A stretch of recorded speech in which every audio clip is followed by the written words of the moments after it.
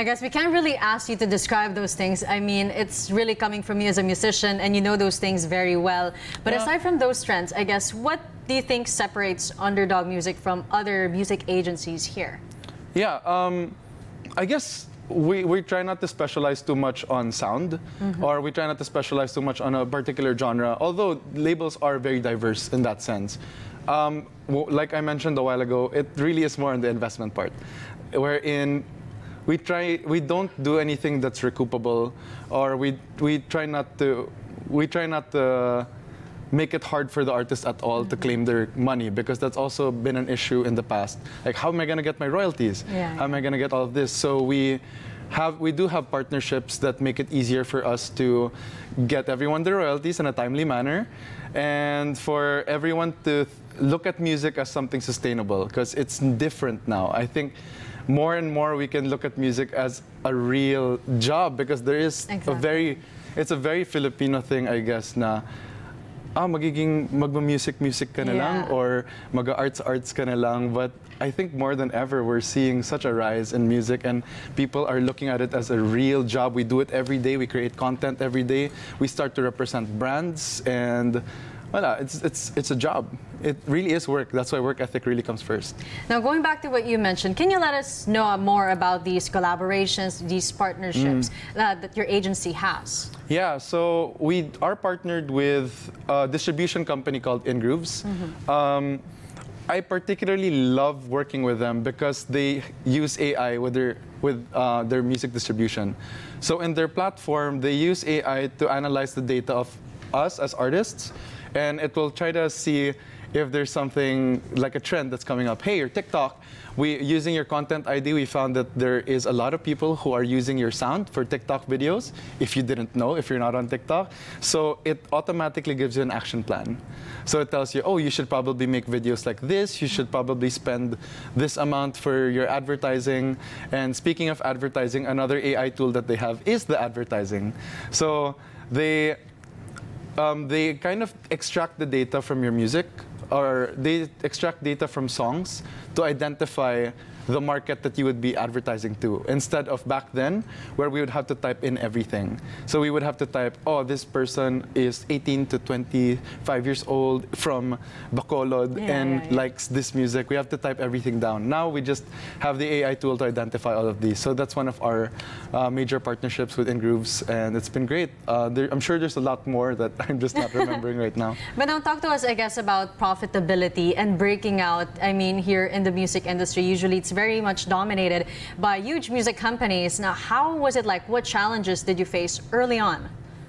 Um, it is a lot about the trust because creating a music company also entails that musicians trust you, mm-hmm. and they would have to know that if they if you have their music, if they hold if you're holding their music, that they can trust you with that music to make profit not only for yourself as a business but also for them.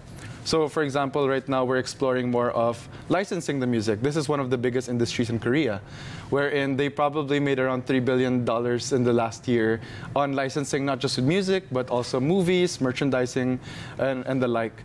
But for us, we're trying to explore how can we get Filipino music to be global music.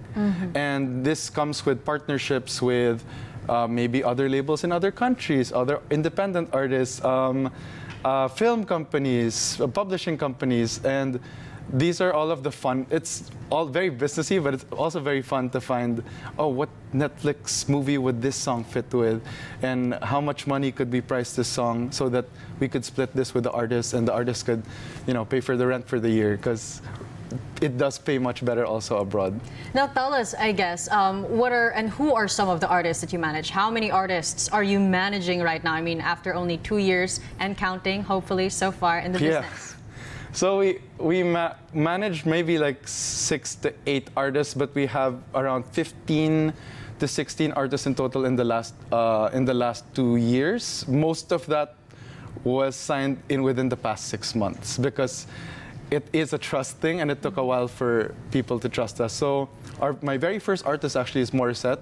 She is um, my my talent, but also a co-owner of the company.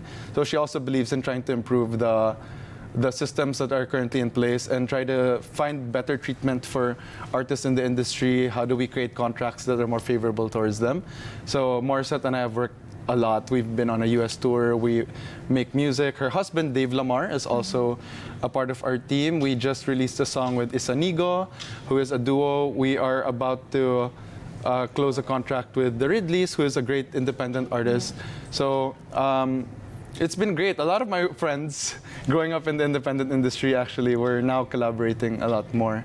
Now, it's quite rare for a company to, of course, prioritize the artist. Usually, of course, um, the company does earn a bit more. But here, you make it your goal that the artist will be earning more. So how Yes. do you ensure, I guess, that the agency, you know, remains financially sustainable, especially, of course, with the economy right now? It's a volume game. like um, I think what happened before was it was really on margins. Like we have to own most of these songs. Uh, we have to own most of these songs percentages because it gives us it yields bigger margins. But I think music is really great right now because you can do it at home.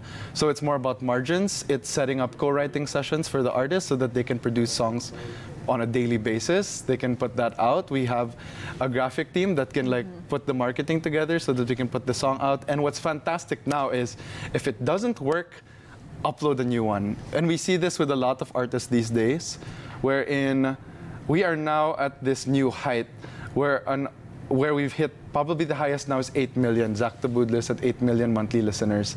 And he has this great work ethic of um, producing his own music, writing his own music, and releasing it um, with uh, Universal Music Group. And when something doesn't work, he'll probably just release another one and within the next few weeks.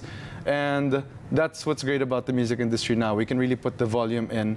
And of course, if you treat the artists right and if you help them grow, management comes in now. Management is where mo- more of the income comes from in the music industry because those are talent fees if they work with brands, those are talent fees when they do bigger shows.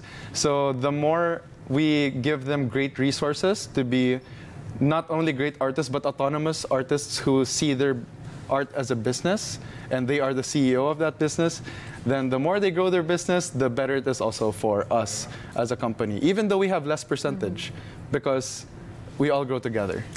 Now, thank you so much, Martti, I guess, for joining us, sharing your thoughts on the local scene, the outlook as well. We see your excitement, we see your passion for it, and we hope for success. Thank you very much. Thank you so much for joining us.